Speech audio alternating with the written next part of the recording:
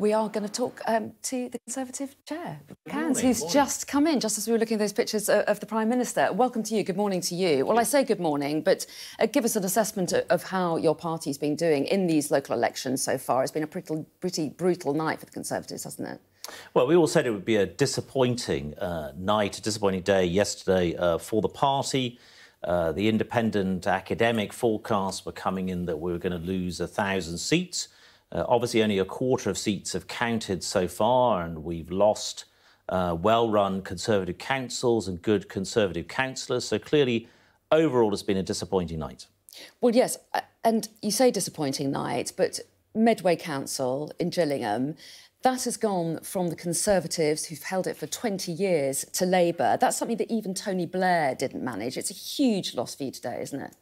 Uh, well, look, I mean, there's areas, of course, uh, we're disappointed. I was in Medway uh, during the course of the campaign. Um, but, you know, equally, there are areas that uh, Labour need to win to show that they're making progress. And I don't think they are making the comprehensive progress that they need to make. For but, example... But isn't Medway exactly a place that, well, like that, a, a, conservative heartland? It's places so like that you need to hang on to if you're going to win a general election. The Conservatives have been gaining seats in places like Peterborough, uh, in places like Sandwell, in places like Bassetlaw. You know, those are all seats that Jeremy Corbyn won in 2017 that the Conservatives are gaining in uh, this year, uh, which I think means that for Sir Keir Starmer, uh, it's not overall, it's not a uniformly good picture for Labour. In all my conversations up and down the country, uh, I've yet to meet a voter who comes to the door enthusiastic about uh, Sir Keir Starmer and his leadership of Labour, whereas every single conversation I've had is always improved by the mention of Rishi Sunak and the job that he is doing in difficult circumstances as Prime Minister. Why then are you talking about potentially losing a thousand seats? It's something you've said in, in the run up to this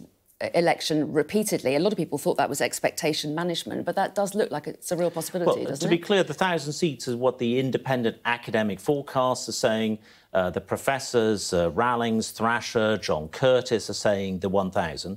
Uh, we'll have to wait and see. Clearly, it's a disappointing time overall for the Conservatives, but I'm quite clear this is not the sort of euphoric Labour win that they got in 1995 in advance. You mentioned Tony Blair, uh, but the year before Tony Blair's win, Labour gained 1,661 seats. The Conservatives lost more than 1,900 seats. I don't think we're seeing anything like that uh, from yesterday's results. OK, and uh, you're losing around one in three seats that you were trying to defend so far.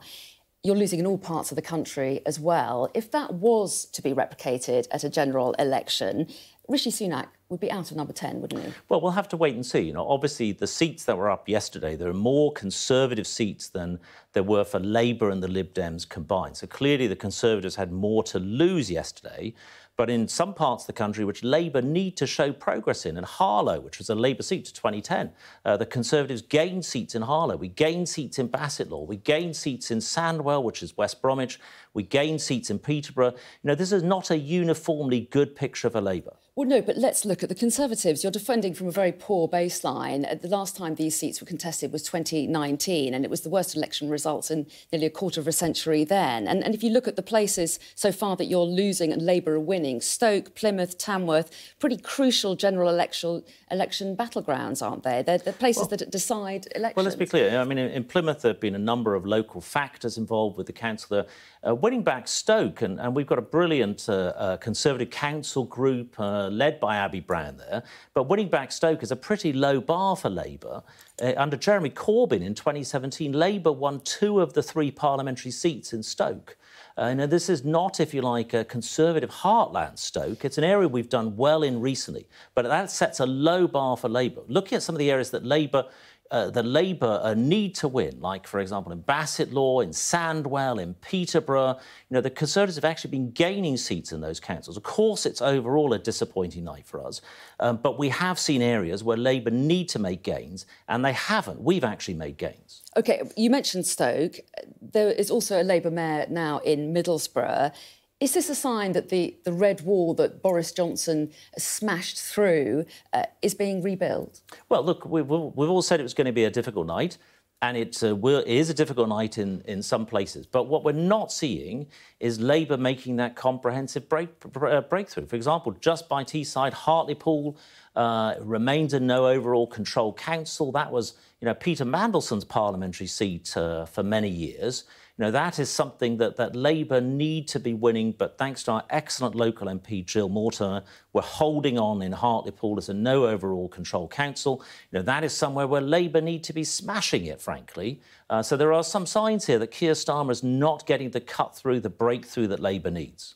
Uh, does there seem to be a springing back of, of, support for Labour in areas that voted Brexit and where Boris Johnson did well in 2019? It was always thought at the time they may be borrowed votes. Do you think that's turning out to be the case?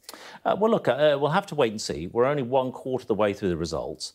Uh, what I'm saying is, of course, and we're very disappointed to have made losses uh, last night. Good Conservative councillors have lost their seats. But I'm not seeing that breakthrough for Labour that they would need to be for Sir Keir Starmer to be able to say, hand on heart, uh, that he is ready to form a government. You know, I don't think that Labour are doing well enough. And as I say, we're actually seeing conservative gains in places like uh, Peterborough, in Sandwell, in Bassetlaw, and other kind of key places that, uh, in those most of those places, also voted for Brexit. Well, well, you talk about key places. What about losing to the Liberal Democrats? You're losing seats in, in Windsor and Maidenhead, for example. Well, we're disappointed with the result in uh, Windsor and Maidenhead. Uh, Andy Johnson there has run a good Conservative council, he and his team.